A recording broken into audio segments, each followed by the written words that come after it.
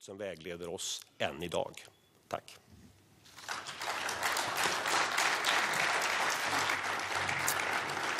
Tack. Jimmy Åkesson, Sverigedemokraterna, har ordet för anförande.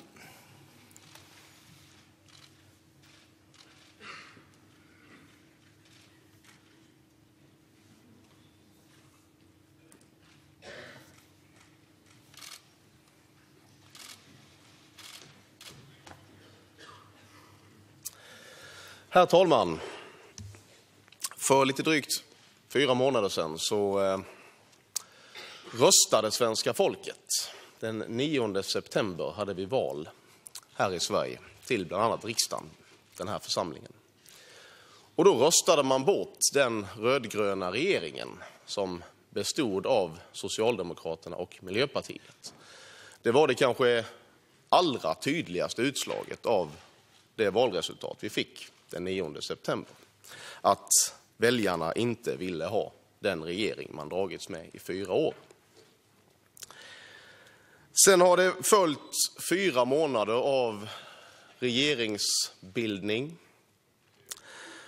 jag har inte varit med under alla de år som Sverige har varit en demokrati förvisso, men jag har varit med i politiken förhållandevis länge på olika nivåer. Och jag måste säga att jag har, åtminstone inte så länge jag har följt politiken, stött på en mer märklig, mer eh, absurd, mer eh, bizarr regeringsbildning.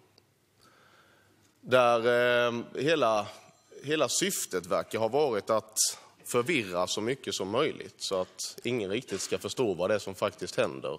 Men så sitter vi där med Stefan Löfven och Gustav Fridolin och Isabella Lövin i ytterligare fyra år.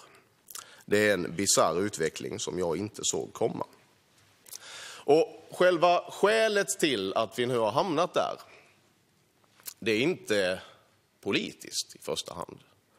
Det är inte därför att eh, ens ledamöterna i den här kammaren, en majoritet av ledamöterna i den här kammaren tycker att Stefan Löfven är den bästa statsministern. Eller tycker att Socialdemokraterna är det parti som ska leda det här landet. Det är inte alls det som är skälet till att Stefan Löfven nu får ytterligare fyra år. Utan skälet är att eh, de vänsterliberala partierna i den här kammaren, som de själva har uttryckt det, vill göra sitt yttersta för att ett par partier inte ska få något inflytande över politiken överhuvudtaget.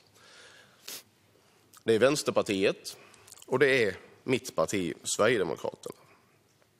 Det har varit liksom den bärande delen i hela den process som har tagit lite drygt fyra månader. Hur slutar då detta, herr talman?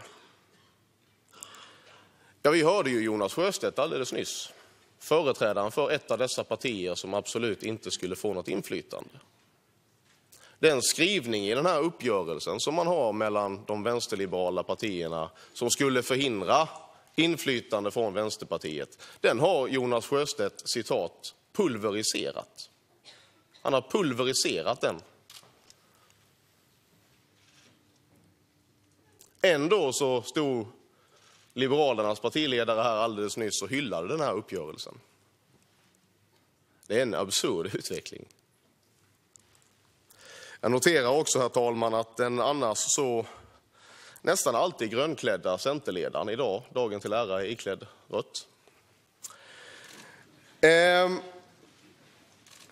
Den regering som vi nu sannolikt kommer att rösta fram det är en regering som har misslyckats med precis allting som man skulle göra under de fyra år man hade på sig. Man misslyckades med det bärande målet, det som var det främsta vallöftet till väljarna, nämligen att vi ska ha EUs lägsta arbetslöshet 2020. Nu är vi ju inte 2020 än. Det är ju ytterligare något år till knappt. Men utvecklingen har ju gått i motsatt riktning. Vi har sjunkit på den här rankingen över arbetslösheten bland EU-länderna. Man har kapitalt misslyckats. Man har fullständigt misslyckats med skolan. Det som Miljöpartiets språkrör skulle fixa på hundra dagar. Man har fördubblat vårdköerna. Man har eh, stärkt integrationsproblemen och utanförskapet. Inte bara lite grann, utan till katastrofnivåer. Man eh, såg inte integrationsproblemen när man tillträdde för vad det är. Och därför så fortsatte man att föra en extrem, oerhört ansvarslös migrationspolitik som ytterligare förvärrade integrationsproblemen, utanförskapet, gängkriminalitet och annat som följer med ansvarslös invandringspolitik.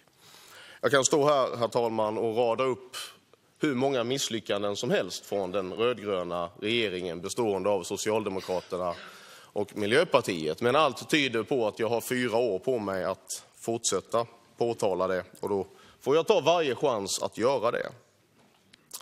Jag sa förra gången jag stod i den här talarstolen att det här är en, jag är inte för, egentligen förvånad över den här utvecklingen. Därför att den här utvecklingen, att de liberala partierna i Sveriges riksdag drar åt vänster, söker sig till socialdemokratin, till Miljöpartiet och till det före detta kommunistpartiet. Det, det är en naturlig utveckling givet de frågor som är aktuella på den politiska agendan idag, 2019 givet de frågor som är aktuella i vanliga, riktiga människors vardag 2019.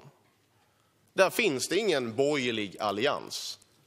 Utan i det sammanhanget, i den riktiga verkligheten idag, så finns det två nya blockkonstellationer i svensk politik. Det är det vänsterliberala block som nu kommer att tillträda som ny regering. Och det är en högerkonservativ opposition. Jag är medveten om att de övriga två partierna som nu ingår i den här oppositionen inte ännu har riktigt landat i verkligheten. Inte riktigt har kunnat köpa att den här utvecklingen faktiskt är ett faktum. Men man kommer tvingas göra det under den här mandatperioden.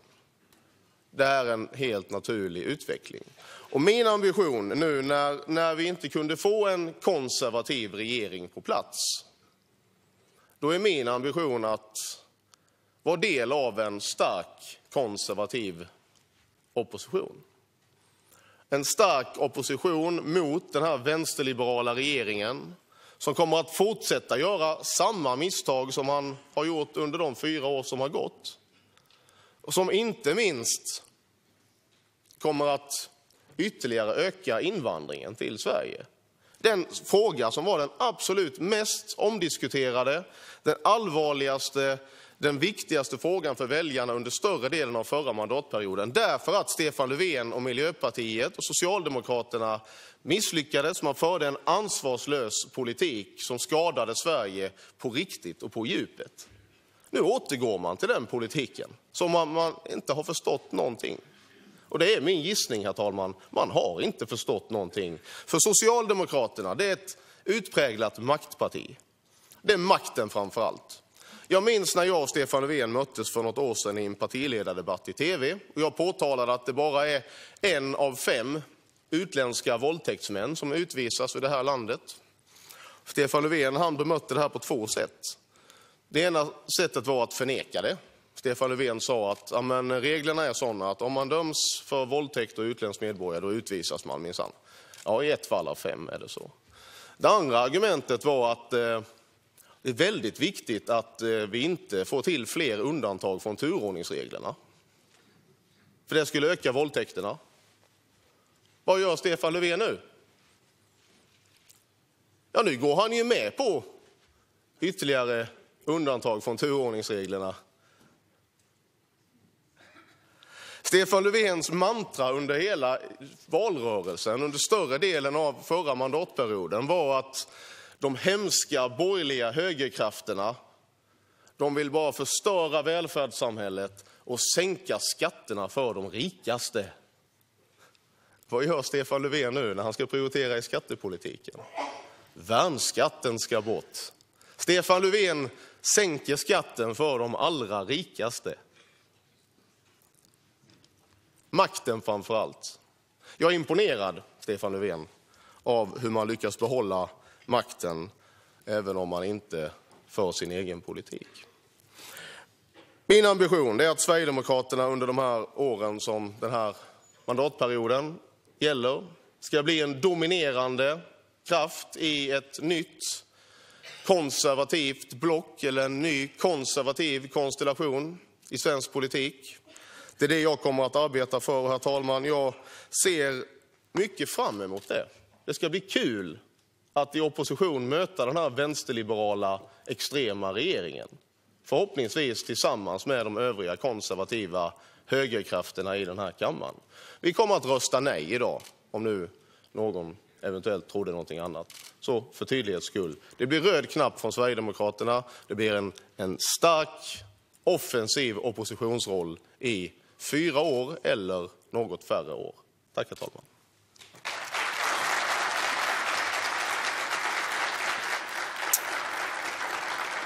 Tack. Ordet, ordet för anförande går till Annie Lööf, Centerpartiet.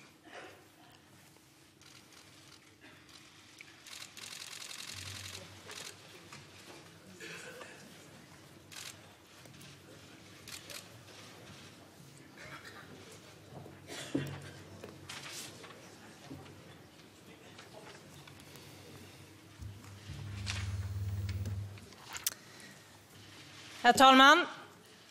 Jimmy Åkesson valde denna ansvarstyngda dag att eh, kommentera kvinnors klädsel. Låt mig notera att min kostym bär samma färg som Jimmy Åkessons slips.